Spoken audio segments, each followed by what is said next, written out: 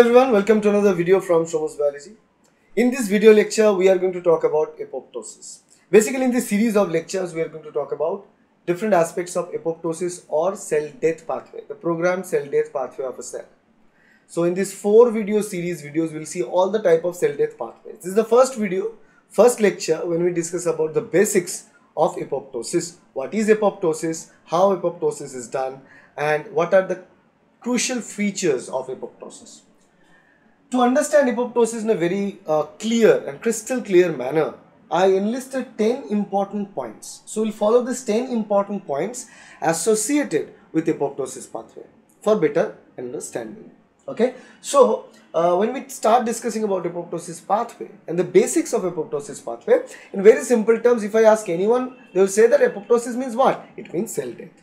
Good, fine. Apoptosis means cell death there are pathways or cell signaling uh, processes that leads to a cell to undergo the death bed right? But cell death pathways can be of different types. Apoptosis is just one of such vast different types of cell death pathways. It's just one of many. So what are the features of the cell death pathway that is apoptosis? You need to understand every single details in simple manner the first thing that I want to discuss about is that when a cell die, its morphology gets altered. Because a living cell, if I simply draw animal cell which is living, healthy animal cell, uh, the cell is smiling basically, it's a living healthy cell. But what happens during apoptosis? After the apoptosis pathway, the cell will be dead, that's fine. But what the structure will look like at the end? It looks something like this okay. So if imagine this is the DNA this is the fragment that is generated. The DNA is fragmented. And the cell is also what we can say is uh, small clusters of cell with a little bit structure of the membrane comes out known as membrane blebbing. So these are the morphological changes that happen. So the very first thing that you need to understand about the apoptosis is a morphological change. The morphological change is real. And what kind of morphological change that we see is simply uh, the cell membrane. Cell membrane will break down. Basically shrinkage. Shrinkage to that. Okay? What else uh, happens here? DNA or degradation of the DNA or nucleic acid degradation. And what happens to the membrane? Membrane blebbing membrane bleb start to form. Bleb of membrane means what? When the cell is fragmented, all the components are floating in that uh, area with small membrane covering all those small portions of the cell. That is blebbed content of the membrane or membrane blebbing. Along with that, so we have shrink, uh, we have we have chromosome condensation. We have chromosome condensation. So we have chromosome condensation, DNA degradation and uh, the cell fragmentation and membrane blebbing. These are the four important phenomena, four important property or morphological changes incurred by a cell undergoing apoptosis. Second important factor now that is cell signaling which is highly related to apoptosis mechanism. Now how exactly apoptosis is introduced with the help of cell signaling. Now the cell signaling may originate internally means intrinsic origin or it may origin from outside or extrinsic origin. Intrinsic or extrinsic origin. If it is originated internally or intrinsic origin then the pathway will be known as intrinsic apoptosis pathway. And if the origin is extrinsic from outside of the cell we call it extrinsic apoptosis pathway. Then we come the third important step that is DNA fragmentation. What is this? As I mentioned, it's very very important part of the apoptosis pathway. That is the DNA of the organism will be fragmented because ultimately everything that is governed inside of the cell is governed by the DNA itself by the information that is stored in the DNA. So from DNA it will make RNA, from RNA it will make protein and proteins are the expression of the cell. The way the cells express itself is via the production of proteins. So what happens is that the DNA fragmentation will seal the possibilities of cell death even further because the DNA will be fragmented by whom? by basically DNases obviously. DNases, DNases uh, are enzymes which will cleave and break down DNA structures, right? But the DNases are in, uh, activated by another set of protein known as caspases. Now caspase proteins play a very crucial role in the process of apoptosis be it internal or external, any kind of pathway, but the apoptosis pathway is generally related to the caspase. So this caspase has a direct role in signaling process or signaling aspect of the apoptosis as well. There are different kinds of caspase like caspase 7, 8, 9 known as in, in, in introductory caspase and there are uh, effective caspase or terminal caspase like caspase 3. So there are these different types of caspase proteins who initiate a process of signaling cascade that leads to the activation of DNases which will break down the DNA of the apoptosis undergoing cell. Now, the cell signaling process is found in uh, both intrinsic pathway as well as extrinsic pathway. But when the signaling process is uh, started internally, it always starts from the mitochondrial changes. So, in intrinsic apoptosis pathway, mitochondria has a more important role to play because in intrinsic apoptosis pathway there will be mitochondrial changes observed in the cell. So when you uh, look at a cell undergoing apoptosis inside the uh, in, inside the microscope when we see the image what we can easily find out is that there will be changes in the nucleus because nuclear uh, envelope gets shredded dna gets degraded but if you see the mitochondria you will also find out that the mitochondria you will see will also show you some morphological change. What are the morphological change? The morphological change that are shown here in the mitochondria is membrane permeability. The mitochondrial membrane becomes more permeable. This mitochondrial membrane start to have pores in it. So if I show you this, okay, two membranes, external and internal membrane of mitochondria, inner and outer membrane. So there will be pores in the mitochondrial membrane and due to the formation of pore in the mitochondrial membrane, important signaling molecules will come from the matrix of the mitochondria to the cytoplasm. Okay, we'll see this process in details in the intrinsic pathway of apoptosis. So do not skip that lecture. But there will be this mitochondrial morphological changes.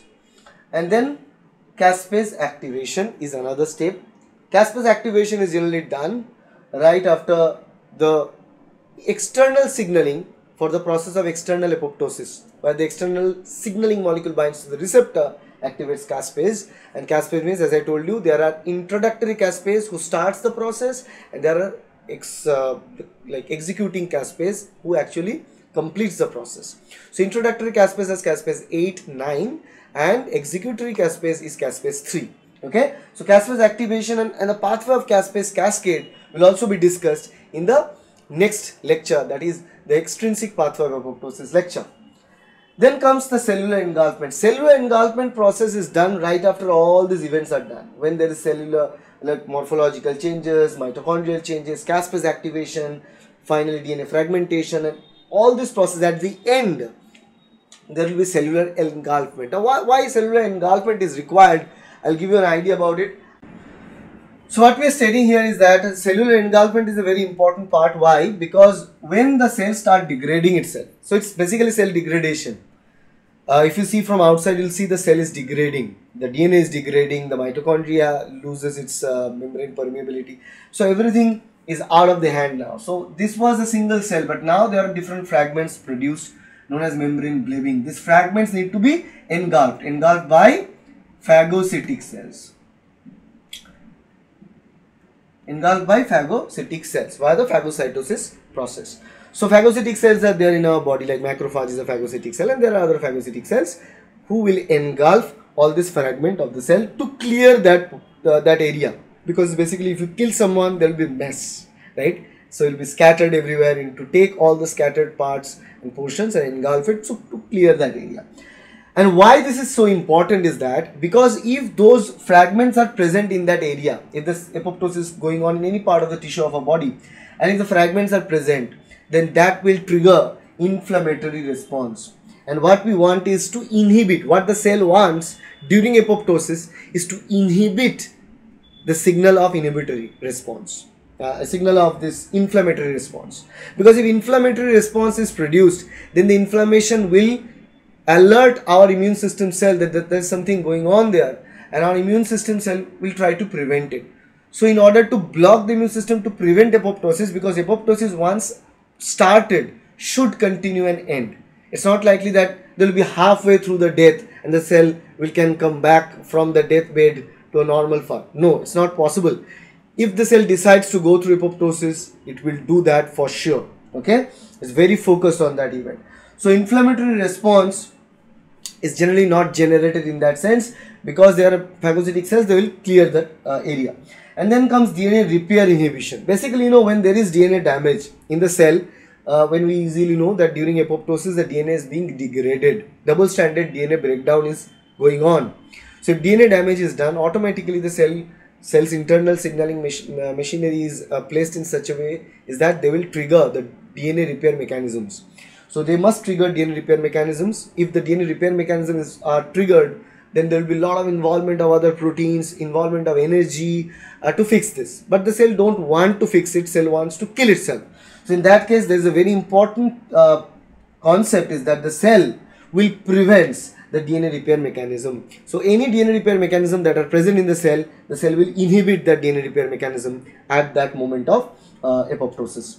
Then comes the then the, so that this almost kinds of sum up uh, sum up the whole idea of, uh, about apoptosis starting with the morphological changes to the cell the morphological changes to the mitochondria the caspase activation dna degradation everything now when we talk about all these important aspects the two important aspects left is the physiological role of apoptosis and pathological role of apoptosis. What are the difference between the two? Like, like why they are so important? The physiological role of apoptosis is basically to kill a cell which is uh, internally ham, uh, hampered or damaged. So if there is any cellular internal stress or external cell uh, stress detected by the cell, the cell decides to kill itself. That only uh, is the idea of physiological uh, role for an apoptosis. Because for example, in many cases, the cells that are present incur damage from the surrounding or maybe they'll be under stress. Stress, let's say they're not getting proper nutrients for survival. So if the cell is not uh, receiving proper nutrient for survival, not receiving proper cell signaling molecules as a growth, uh, growth hormones or growth molecules uh, or the cell lacks any sort of signal that will allow the cell to survive, then the cell undergo apoptosis. So when a cell undergoes apoptosis, it's not likely the whole tissue will be dead. No, one, two of the neighboring cells, they start uh, the process of apoptosis in order to prevent the spread of infection sometimes from one cell to the next cell. So it kills itself so that the other neighboring cells in the tissue can stay and live healthy. And what is the pathological role? Pathological role we can say is that this process of apoptosis is linked uh, to different types of you know down regulation of all this process may leads to the cancer because if there is no apoptosis no cell death. So down regulation of apoptosis means apoptosis is not being regulated properly. A cell can continue to grow without being dead. So cell grow grow grow and grow ultimately leads to formation of tumor. And obviously at the moment when there is uh, no proper control over cells death and if there is any DNA damage there is no proper control of cell killing then automatically there is a chance that the normal cell may transform into a cancer cells. So that is this pathological role uh, of this apoptosis. So down regulation may lead to cancer and in many cases it's also related to the neurodegenerative disorder which is upregulation of apoptosis so if apoptosis mechanism is working very fast uh, in brain cells, particularly there will be damage to brain cells that leads to neurodegenerative diseases. Okay, so these are the two different pathological aspects of apoptosis. So that concludes our understanding of apoptosis and what is apoptosis, why apoptosis is so important and uh, what are the cues that leads to apoptosis and every single important aspects of apoptosis are discussed in this particular video. If you like this video, please hit the like button, share this video with your friends and subscribe to get more videos like that in future.